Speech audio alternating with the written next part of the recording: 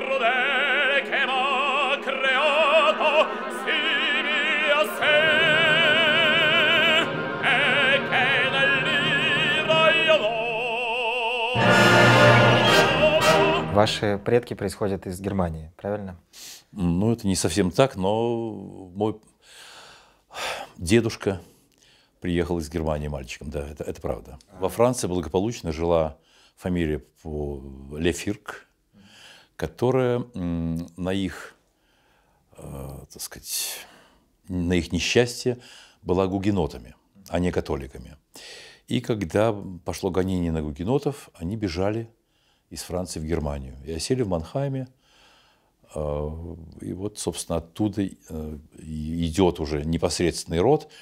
Один из моих прапрадедов решил стать доктором, он, и чтобы стать более известным, он добавил к своей фамилии окончание, латинское окончание «ус», чтобы быть как Нострадамус, Корнелиус и так далее. Знаете, чтобы это латинское звучание было.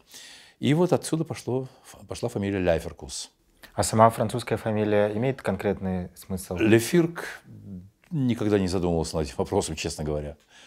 Вот. э, И э, мой дед, прие- он был всю жизнь мечтал стать морским офицером, и его дядя, который получил позицию в Академии наук в Петербурге э, в конце 13 или в середине 13 года, он взял племянника с собой, и они приехали в Петербург, но тут случилась Первая мировая война, революция, и дед стал морским офицером, но советским. И э, погиб он в 1942 году, воюя на Балтике э, против э, немецкого флота. Он был морской офицер, он был эм, на э, торпедных катерах, был командир дивизиона торпедных катеров. И был очень серьезно ранен, э, некоторое время болел, и э, в госпитале он умер. Вы тоже поступали в военно-морское училище. Э, Да, Если бы вы поступили, вы бы сейчас были морским офицером? Ну, наверное, наверное, да. Наверное, я уже не, не был бы морским офицером, потому что я бы уже демобилизовался, или как это называется, вышел на пенсию, потому что век э, военного достаточно короток. Но вот не случилось, я не стал морским офицером. Не приняли меня. А вы после этого увлеклись музыкой? Ну, я вам должен сказать такую вещь, что это произошло совершенно так, спонтанно как бы. А, У нас была замечательная учительница английского языка, которая с мужем проработала много очень лет в Англии, в Лондоне. И когда она вернулась э, из Англии, она поступила к нам в школу учить детей английскому языку, и это был самый любимый наш предмет. И на этих уроках мы очень много пели песен, русских и английских песен э, на английском языке. И однажды Цицилия Михайловна, так звали э, эту, эту учительницу, она пригласила мою бабушку, которая заведовала моим обучением, моим воспитанием, э, пригласила в школу. Мы сели в класс какой-то, и она мне сказала «пой». И после этого э, Михайловна сказала моей бабушке, вашего мальчика надо учить пению. Вот с этого, собственно, началось. Но это был класс, наверное, шестой. Красивая история, особенно потому, что Цицилия же покровительница музыки. Она вас так Ну вот видите как. направила. А вы начинали как бас. Это потому, что ваш тембр сразу не распознали или он поменялся? Нет, вы знаете, голоса, они имеют, эм, так сказать, свойство меняться.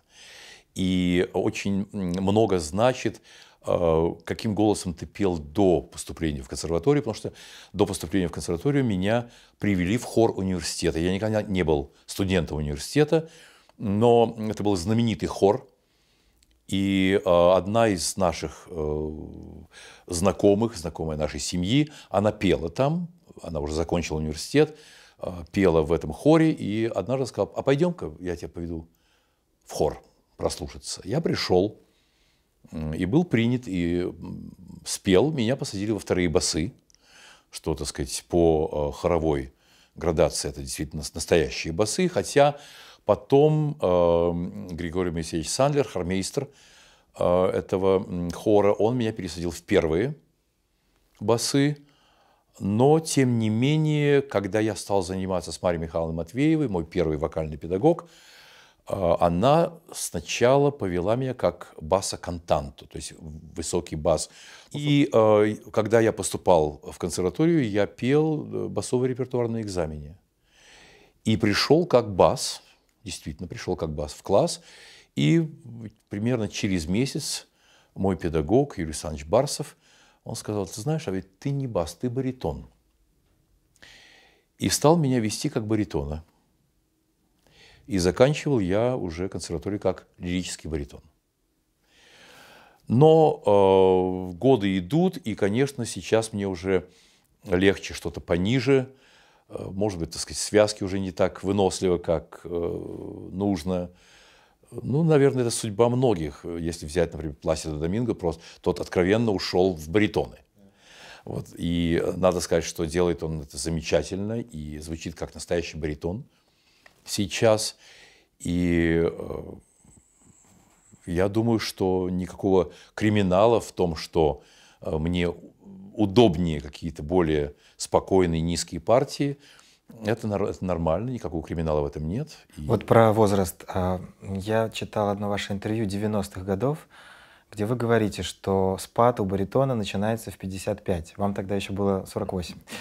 А, оказалось ли это правдой? И сразу второй вопрос. Правда ли, что мужчинам, оперным певцам, вообще академическим певцам проще продлить свой век на сцене, чем женщинам? Ну, это зависит, это зависит во-первых, от того, насколько человек а, сильный, насколько человек здоровый, насколько, потому что певец должен быть очень здоровым человеком, не только физически, но и ментально.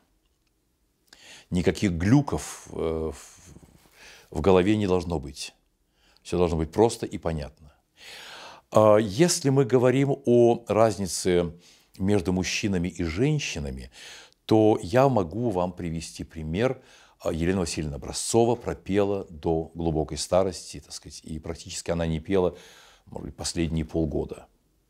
А, Ирина Петровна Богачева, которая скончалась совсем недавно, потеряли эту певицу, к сожалению, она пела и голос у нее был свежий и легко льющийся до самых последних дней ее жизни. Так что э, говорить о том, что у, у женщины более короткий век, это зависит от многих причин. Во-первых, это зависит от э, того, насколько у вас хорошая вокальная школа. Второе – это хорошие мозги – Потому что человек должен четко воспринимать, что он может в данный момент и от чего, его, от чего ему нужно, так сказать, освобождаться и не, а, не петь какие-то вещи, которые могут навредить. Это касается и молодых певцов, и певцов среднего поколения, и пожилого. Дело все в том, что а, нельзя перескакивать так же, как Э, в йоге нельзя перескакивать через э, какую-то ступень, потому что это приведет к печальным последствиям. Тоже так, так же точно молодой певец, даже у него, если огромное количество сил, возможностей, и ему предлагают спеть какую-то драматическую партию, нельзя этого делать.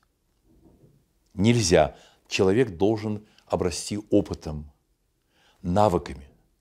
И только тогда потихонечку, постепенно, постепенно, постепенно осваивать уже более драматический репертуар. Я имею в виду даже, так сказать, не э, тесситуру, вокальную тесситуру, а характер.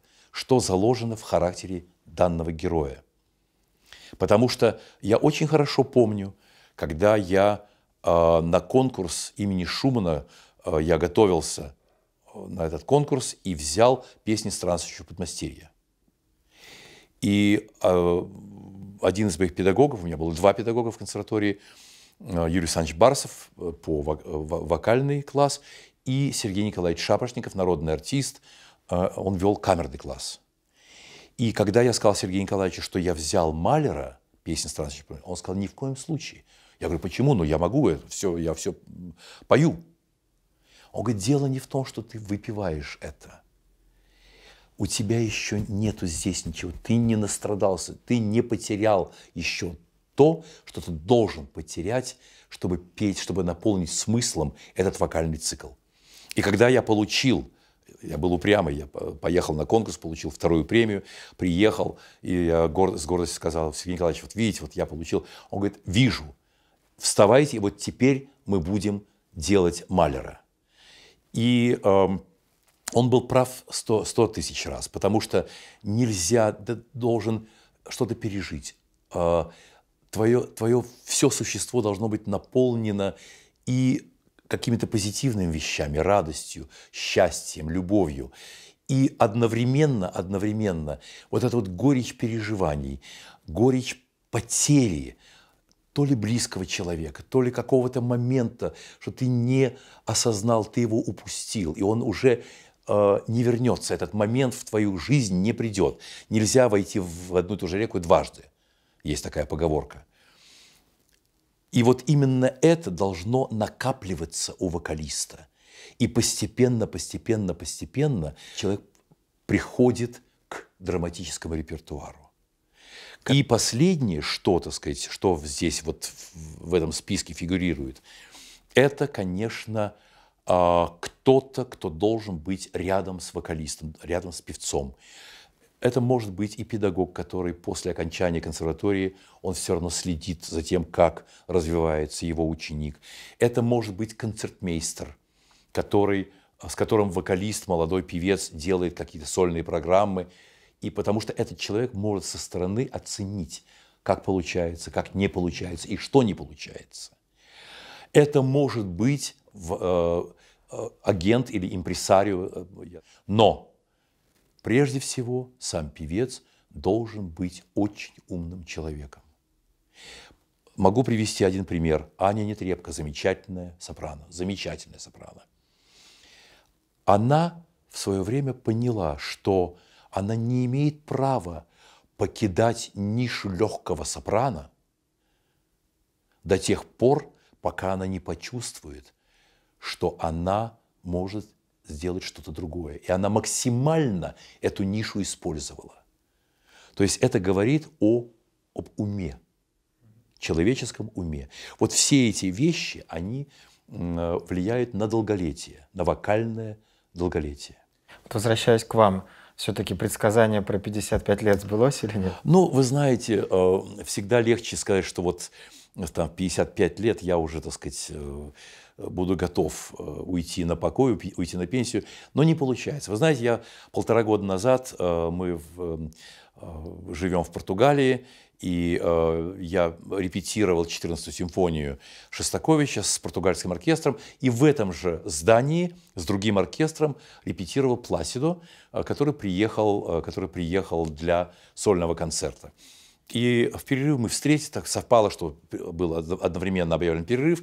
Мы встретились в коридоре, обнялись, расцеловались, э, так сказать, наши глаза увлажнились тут же. Э, он мне говорит, ну, ты как, ты заканчиваешь? Я говорю, нет. Он говорит, и я не могу. Не могу. Я не могу даже подумать о том, что я в один день уйду со сцены. Потому что вот эта магия, этот наркотик, те, вот сцена, театр. Дело не в славе, дело не в аплодисментах, нет. А дело в том, что когда ты попадаешь за кулисы театра или за кулисы концертного зала, или выходишь э, на сцену концертного зала, что-то в тебе переворачивается. И ты понимаешь, что без этого ты не можешь жить. Не можешь. Мои колена слабеют.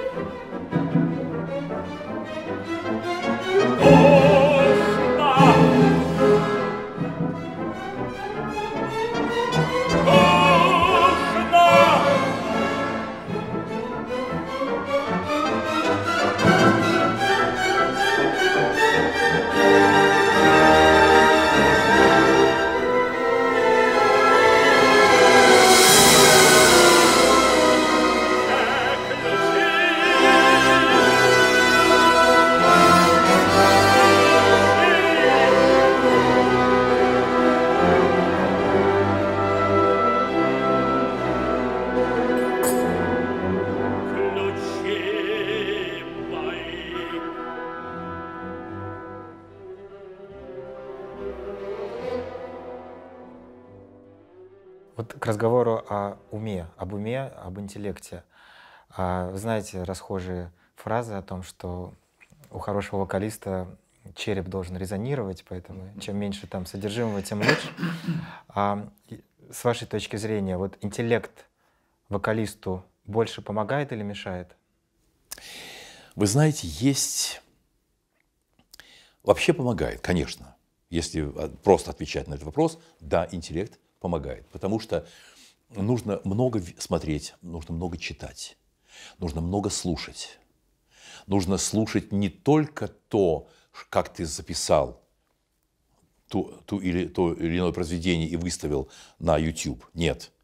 Нужно слушать, а как другие поют, как другие пели, чтобы а, перенимать, а, не просто обезьянничать по звуку. Вот э, я помню очень хорошо, был такой Георг От, замечательный, великий певец, а, и очень многие молодые певцы просто копировали его. Или когда на сцене появился Муслим Магомаев, то все стали, «Э, знаете, вот эту манеру просто брать и обезьяничать, копировать. Этого нельзя делать. Я всегда своим студентам, а, когда я делаю мастер-классы, я всегда им говорю – сначала выучите произведение, и только потом начните слушать. У вас есть книжка «Трудно быть злодеем». Вот Было такое. спев э, стольких злодеев, как вы ощущаете себя вот вне сцены как человека? Повлияли ли все эти погружения в, тем, в темные души на вашу душу? Нет, ну, понимаете, э, я не могу сказать, что я просто как газета «Правда», Э, как э, раньше говорили. Э, нет, наверное, нет. Я достаточно сложный человек, я вспыльчивый человек, я эмоциональный. Иногда я, так сказать, захлопываю себя, так сказать, и борюсь сам с собой. Очень часто это на моих близких, так сказать, выливается, вот эта эмоция излишняя даже где-то. Но я должен сказать такую вещь. Я очень отходчивый, я не держу никогда зла. Так сказать, я могу обижаться, но я не буду никогда мстить или, так сказать, э, делать какие-то козни, строить. Нет, э, этого нет во мне. Э, в общем, позитив, он преобладает, наверное, в моей натуре все-таки. Вот еще один вопрос такой непростой, но очень интересный для меня. Вы были секретарем партбюро в советское время? Ну да, опера, да, совершенно верно. А, сейчас в основном, когда вспоминают такие должности и людей, которые их занимали, обычно говорят, ох, он там натворил всяких кошмаров и так далее, потому что, понятно, идеология, давление сверху и прочее. В частности, пишут, что а, вот во времена вашего, так сказать, э, правления секретарского а, из театра э, хотели уволить Ирину Богачеву. Правда ли это? Это неправда. неправда. Это неправда. А, Ирина Петровна никогда не была, так сказать, э, ну, будем так говорить, в опале она всегда, она всегда была ведущей звездой, и к ней относились очень уважительно и коллеги, и руководство театра. Вы знаете, мне безумно повезло в том смысле, в том смысле, что э, во всех трех театрах, в которых я работал, это театр музыкальной комедии, это Малый оперный театр ныне Михайловский, и это Кировский, ныне Мариинский театр. А, во всех трех театрах руководство очень уважительно относилось а, к солистам, к артистам хора, артистам миманса, к балету. Были, конечно, какие-то нюансы, были, конечно, какие-то недопонимания, размолвки, но это скорее касалось больше творческой стороны, нежели просто личного взаимоотношения между я не знаю, парторганизации или э, театра. Нет. Ирину Петровну никто никогда не хотел уволить. Это неправда. И э, я... Понимаете, дело все в том, что были, были увольнения.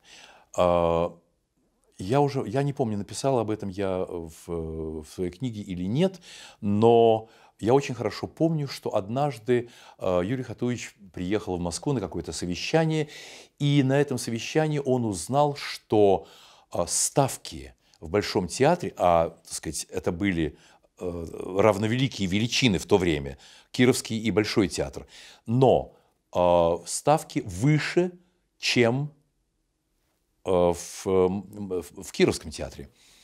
Он пришел в министерство и потребовал, так сказать, а где они? Ему сказали, что, а вы знаете, вы же, у вас те же самые ставки в театре, но вы их не платите, потому что, так сказать, а, руководство театра получает премию за сохранение фондов заработной платы, и вы в том числе. Я очень хорошо помню, как он приехал в, в тот день в театр. Он влетел э, в плановый отдел, вызвал всех на ковер, бухгалтерию, плановый отдел, и значит, приказал раздать все высшие ставки. И э, потом собрал э, труппу и сказал, значит, я сегодня сделал вот такую вещь. Я потребовал, чтобы все высшие ставки были розданы. Но мы устраиваем банкет для всего театра. И вот ту сумму, на которую подняли зарплату, человек должен положить, так сказать, для этого банкета. И э, в верхнем буфете тогда был а, а, после какого-то э, спектакля э, накрыли столы, и весь театр отмечал, так сказать, вот это событие, потому что это было очень серьезное событие. Я получил тогда прибавку 100 рублей к э, зарплате я стал получать 500, я получал 400, стал получать 500 рублей. Э, это были очень большие деньги в то время, потому вы помните, что средняя зарплата была 120 в то Значит, время. Тост Юрия Хатуевича был тогда, а, он сказал, что в одном коллективе было 50 человек труппы. И однажды руководитель поднял зарплату 25. Вопрос – сколько у него стало недругов. Ну, там стали говорить 25, он говорит, нет, 50. Потому что те 25, которым он поднял, посчитали, что он им мало поднял, а, соответственно, те, которые, которым он не, под, не поднял, они обидели, что он не поднял. То есть вещи, они а, были совершенно другими, и ценности были другими в театре. А, я очень хорошо помню, я трижды встречался в Смольном с Григорием Васильевичем Романовым. По поручению, по поручению театра я как солист а, ездил в Смольный или отмазывать, так сказать, солиста, которого не брали в поездку, а Тимир, Тимирканов говорит, что вот так нужен этот человек, я без него не могу ехать на гастроли. Не могу. И я ехал в Смольный, и тогда Григорий Васильевич давал указание Большому дому, то есть КГБ, этого человека, так сказать, из черного списка перенести в нормальный список, чтобы он мог поехать. Вот. Или э, нужно было выбивать э, какому-то солисту, который приехал из другого города, его пригласили, и была задержка с жилплощадью, ему обещали квартиру. Была задержка, вы знаете, что в Ленинграде было очень плохо с квартирами всегда – вот, и я очень хорошо помню, э, я еще плюс тогда был депутатом городского совета, и вот я поехал в Смольный, употребил все свое влияние, чтобы этому человеку дали квартиру. В конце концов, ему дали квартиру. Я счастлив, что так сказать, э, это случилось, потому что были совершенно другие отношения. Но э, добавить к этому я могу еще такую вещь. Мы все знали и очень хорошо умели а, так сказать, если, знаете, вот стоит столб, идти на пролом не надо. Его нужно просто обойти. И вот мы все очень хорошо умели обходить эти неприятные моменты, которые могли быть по, так сказать, каким-то причинам. Ну, в принципе, вы занимались этой работой, общественной, партийной, с удовольствием, по собственному желанию. Да, вы знаете, дело все в том, что вообще инициатор, инициатор э, приема меня в э, КПСС был главный, э, главный режиссер Малого театра Эмиль Евгеньевич Пасынков, который меня вызвал и сказал, Сережа, надо. Я говорю, ну, а, какой, какой, так сказать, ну, что поменяется в моей жизни? Он говорит, надо, потому что если не ты, то кто другой – я уже был тогда ведущим солистом Малого оперного театра. И он сказал, что поверь, наличие партбилета в кармане поможет даже не тебе, а поможет другим. И сделает очень многое. Поэтому отношения, отношения между, а, между так сказать, партийным руководством или между дирекцией театра и солистами. Однажды Товстоногов в, в каком-то интервью сказал, что в театре должна быть диктатура художественного руководства, но диктатура, основанная на колоссальном уважении труппы. То есть актера надо уважать. И тогда будет все в порядке.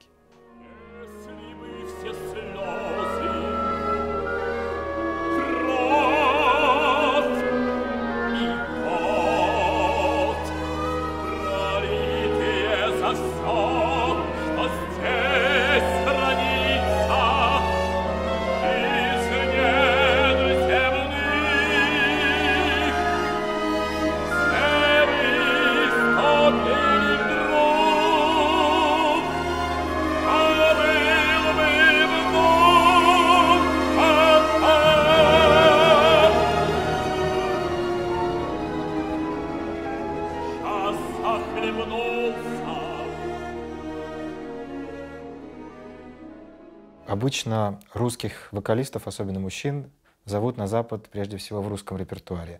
У вас, насколько я знаю, у вас первые все, все ангажементы были в зарубежных операх. Все наоборот. Как да. это получилось?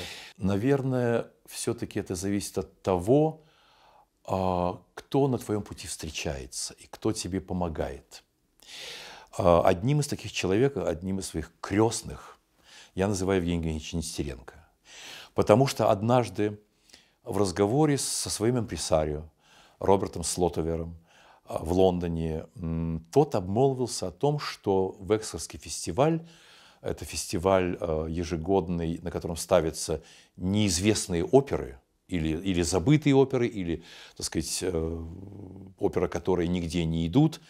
Нужен баритон для оперы а, Масне «Гризелидис». И Евгений Евгеньевич, он назвал мое имя. И э, Роберт обратился ко мне, и вот с тех пор, так сказать, началась моя зарубежная жизнь, и началась именно с французской музыки, на французском языке. Э, потом пошли другие э, оперы, и Маршнер, и Хумпердинг. Э, этих композиторов в России очень плохо знают. Вот, и поэтому так получилось, что первые мои э, ангажементы, они были именно с э, западной музыкой. Я так понимаю, что после уроков английского, оказавшись в Лондоне, вы уже были как в себя нет, дома? Нет, нужно, я начал учиться заново. Потому что многое, понимаете, дело все в том, что э, все-таки школьная программа, она несет в себе э, некие минусы. Потому что есть, Рано утверждал, я не знаю, как сейчас, вообще об образовании давайте лучше не будем говорить, потому что это меня расстраивает очень. Я вам приведу маленький пример. Мы летели из Красноярска а, летели из Красноярска, летели в бизнес-классе, нам принесли меню. Я открываю меню и читаю. А, грудка, подкопченная грудка гуся в мастардовом, во фруктовой мастарде. На русском? На русском языке. Мастарда. Во фруктовой мастарде. И э, второе слово, которое меня просто э, шокировало, это, значит, э, рыба с миксом из овощей. Это слово сейчас уже распространилось. Да, ну, во-первых, микст, а не микс. Ну, это калька с английского. Ну, а, а зачем эту кальку? Зачем? Эта калька мне напоминает вот эти пресловутые ЕГЭ, когда накладывается такая сетка, и крестики совпадают или нет. Правильный ответ или нет? Так что об образовании давайте мы не об, э, об обучении в школе мы не будем говорить. Но дело все в том, что э, программа э, в те года она несла в себе э, несла в себе, так сказать, некие э, преференции, то, что предполагалось понадобится молодому человеку в дальнейшей жизни, э, что абсолютно э, не соответствовало реалиям, в которые я попал, когда мы э, приехали в, Англию и э, стали там постоянно жить, им пришлось э, учиться заново, учиться английскому языку, учиться, так сказать, как себя вести, учиться, как платить налоги. Много-много-много. Мы же были, знаете, как в детском саду, за нас государство все делало.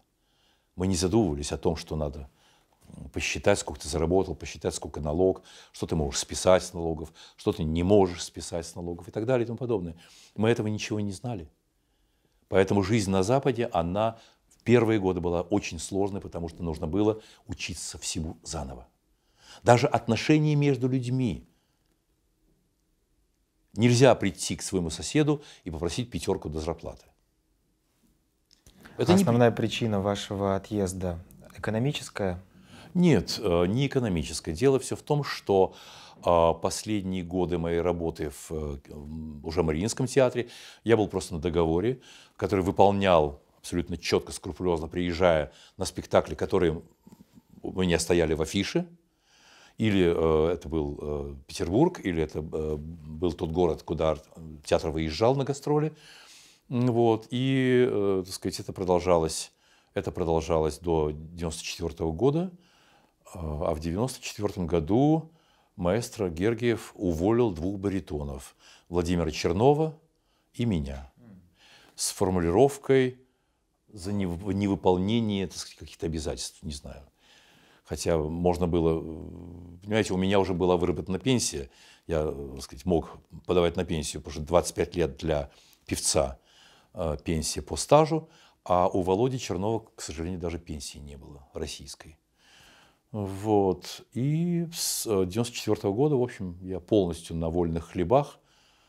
Э, ну, вы видите, приезжаю в Москву.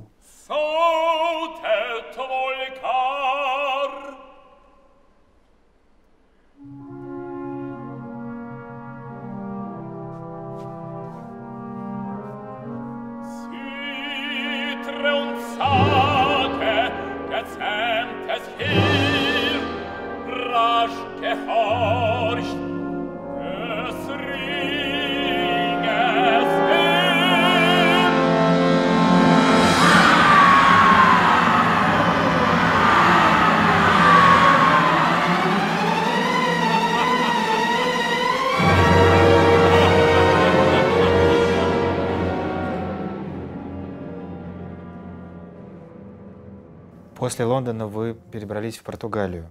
Это довольно неожиданно для русского человека. Почему вы э, решили перебраться в Португалию? Ну, вы знаете, это случилось, в общем, спонтанно достаточно. А, дело в том, что в Англии стал портиться климат. Элементарно. Серьезно? Да. Если мы приехали, и мой день рождения 4 апреля мы всегда отмечали в саду, то последний год уже в сад, про сад нужно было забыть, потому что выпадал снег каждую зиму, а снег в Англии – это национальное бедствие они не готовы к этому. У них нет э, теплых грузовиков, где они можно... не умеют э, водить машины э, по ледяной дороге и так далее и тому подобное. И мы стали э, думать о том, что хорошо бы, так сказать, или домик, или квартирку где-нибудь в теплой стране, чтобы можно было и в отпуск уезжать, и, так сказать, и на зиму где-то сбегать, если свободен от работы смотрели Испанию, смотрели Грецию, смотрели Италию, э, чуть не купили э, кусочек э, земли в Форто-де-Марме, потом, приехав туда зимой, поняли, что это закрытый, это только летний курорт, так сказать, и жизни там зимой нет вообще никакой. Чуть не купили квартиру в Марбее, и слава богу, что не купили, потому что жить опять в городе мы не хотели, потому что мы привыкли жить на свежем воздухе, за городом. И э, попал в 10 лет назад у меня был э, контракт с э, театром Сан-Карлош в Лиссабоне. Э, и я там встретил свою э, соученицу по консерватории, она флейтистка, работала там в театре, потом вышла на пенсию, преподавала. И она нас пригласила э, пообедать в перерывах между спектаклями. Мы выехали на океан, был конец марта, плюс 28, светило солнышко. Э, нам принесли показать рыбу, которую мы заказали, а она еще шевелилась, э, потому что это было выловлено вот утром буквально этого, этого дня, никакой мороженой рыбы там нет. Вот, и я посмотрел на свою жену, и э, ее взгляд затуманился. Я говорю, я знаю, о чем ты думаешь. Она говорит, ты угадал.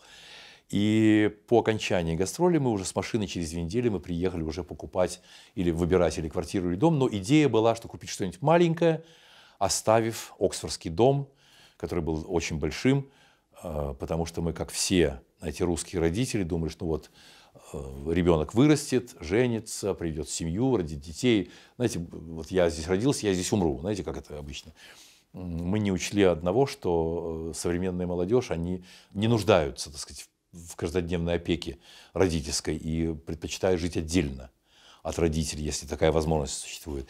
Короче говоря, и случайно мы э, попали в этот дом, который мы купили, решили за 15 минут приобрести этот дом, потому что очень интересный был дом э, сказать, с фонтаном внизу на первом этаже, с красивой мраморной лестницей. А, то есть э, великолепные какие-то э, португальские азулейжес, это э, руками расписанный кафель. А, очень много там вещей, которые сохранились с 19 дом постройки середины 19 века. Значит, очень много сохранилось, и мы решили и купили этот дом, продали в, в Оксфорде наш большой дом и переселились, в общем, в Португалию. На прощание три-четыре коротких вопроса. Что вы сейчас читаете? Что сейчас читаю?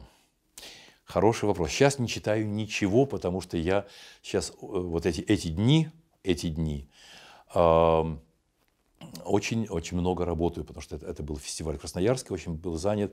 И э, здесь очень большие репетиции, э, вагнеровские, то есть времени просто не остается и сил нет желания сил нет.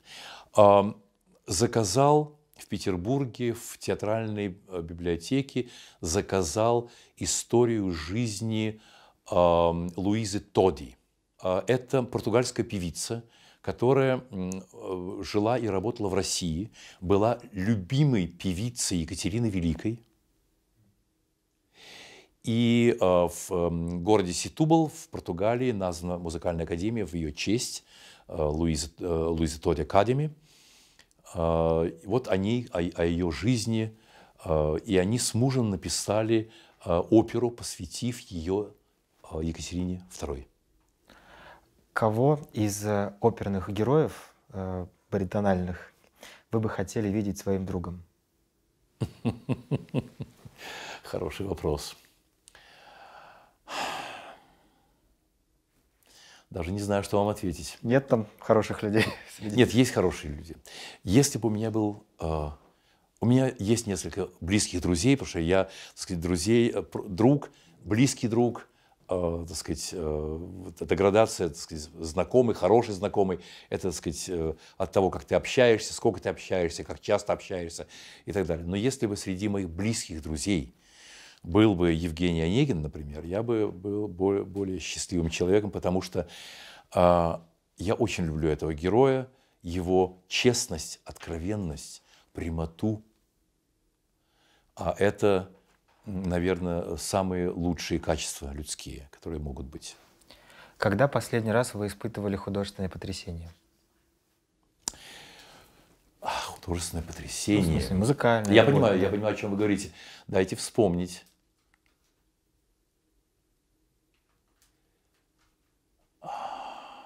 художественное потрясение.